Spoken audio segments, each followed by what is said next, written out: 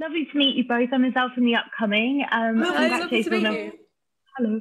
Uh, congratulations on a fantastic series. Really, really enjoyed, um, as you both of them, to be fair. Um, so perhaps you're welcome. So um, perhaps you could start by telling us a little bit about the roles that you play in the Winx saga and, and how they've kind of developed as you've got into the second season. Okay. Shall I go? Yeah. So I play a character called Terra, who is um, an earth fairy, which means she can control plants and flowers. And um, increasingly, as she develops, she's sort of leaning more into mineral magic. So she's got stuff to do with rocks and walls and the ground and stuff. So that's really exciting.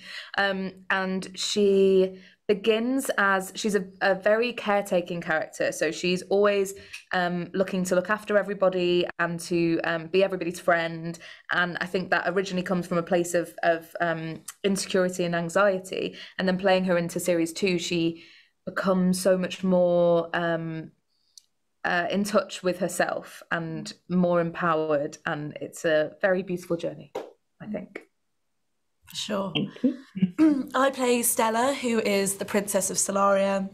She's a light fairy, so her ability to manipulate uh, what people see, which is quite apt for her because appearance is sort of everything. She's uh, got a lot of walls up, um, and her journey is is sort of about reckoning with the ability to be vulnerable and realizing that power does not come from sort of being uh, cruel. It actually comes from having uh, a position of authority or, or um, strength and being vulnerable with that and connecting with others. And her journey is sort of a reckoning with um, what it means to have power and what you do with that, um, which is really exciting to span over two series. Oh. And what do you think of sort of some of the appeals and, and the challenges of adapting, you know, the Italian sort of animation series into this?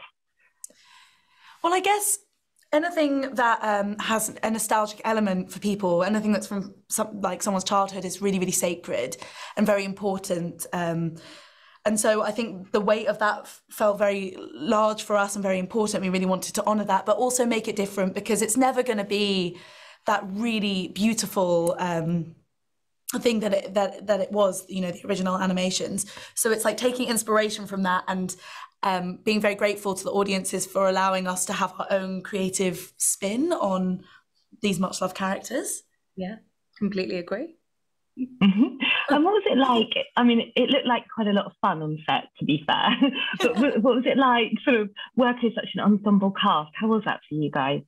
It's really genuinely a joy. Yeah. Uh, like it, we all clicked pretty instantly. Yeah. I think we all had a glass of wine on the first night of the first series. a and, glass and singular. singular glass and then went home very early. But we had a real just I think we all make each other laugh all the time. So it's I think if if and I hope they do, the friendships on the show feel authentic, it's because they are. And yeah. We're having the absolute time of our lives. Yeah, we are. Even if it's a tough day, it's still Oh yeah, we'll get some laughs in. So fun. yeah. yeah. Were there any kind of standout moments on set that you can remember in particular from this season? Hmm. Um, I think the one of the times I laughed the most this season was when we had um, we had a scene with somebody who uh, the actor wasn't able to be there on the set, so we were.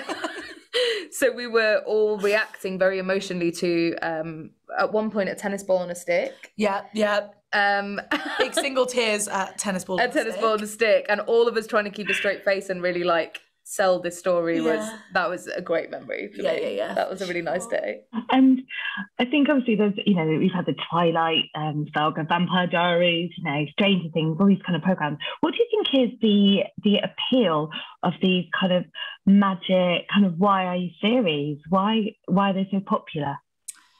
Well, I guess it's it's the extraction of um, things that feel very familiar, right? Like figuring out who you are and trying to connect with people when you're feeling alienated, and just the difficulties of being young. Mm. Um, but then you take it out and you you land it in a world that feels magical and different and other, so that you can see yourself without just being suspended from reality, which is really nice to have escapism, and we all need it. Definitely. Um, and nice to have characters who you can relate to, yeah. who also are battling massive things, but they're like monsters instead yeah. of whatever horrible thing is happening to you inside at, the, at that yeah, particular time, you know? It sort of externalizes a lot of stuff mm. whilst being truthful about their emotions. and also, fantasy is a really great place to. Uh, see a wide like range of people and characters and traits um, where it doesn't feel quite so aggressively politicized as it sometimes can in in this world like the the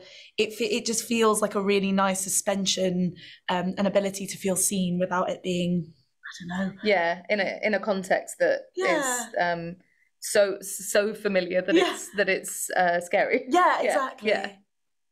Oh, well, thank you so much for speaking to me and uh, congratulations again on a fantastic series. Thank you Lovely so much. You. Have a nice you day. You too. Thank you. Bye. You too. Bye.